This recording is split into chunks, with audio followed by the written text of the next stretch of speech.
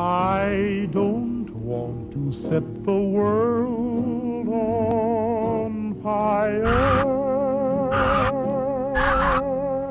I Is this really happening? just want to start a flame Small towns, you know. So hard to escape. You're not my neighbor. In my heart, I have You're definitely not my friend. Well, I'm not the one with the guns, director. But you are the one in control. Tell me Do you why. really think that I am controlling everything? My head feels weird. It's like really noisy. It's because it's quiet. other will do. You're quiet, Agnes.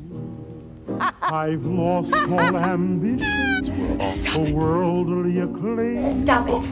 I just want to be the one you love.